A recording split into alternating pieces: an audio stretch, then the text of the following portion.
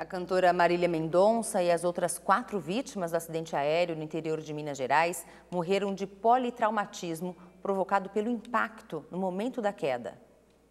A polícia apresentou hoje o relatório final do IML que confirmou a causa das mortes. A morte ela decorreu do impacto da aeronave no solo.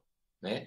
Nós não encontramos nenhum outro elemento na necrópsia ou nos exames complementares que indicassem que ao longo da queda teria havido o óbito. Os exames de teor alcoólico e exames toxicológicos também não evidenciaram nenhum consumo de substância ou nenhum tipo de intoxicação. Sobre as causas do acidente, o delegado-chefe da investigação ainda aguarda os laudos que estão sendo feitos pela aeronáutica após ouvir o depoimento de outro piloto que conversava por rádio com o comandante do avião que levava Marília Mendonça.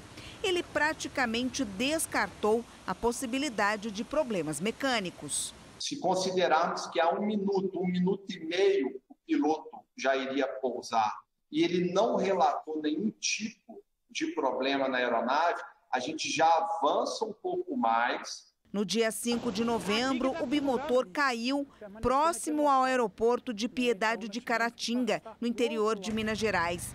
Além de Marília, morreram o piloto Geraldo Medeiros, o copiloto Tarciso Viana, o produtor Henrique Ribeiro e o tio e assessor de Marília, Abiciele Dias Filho.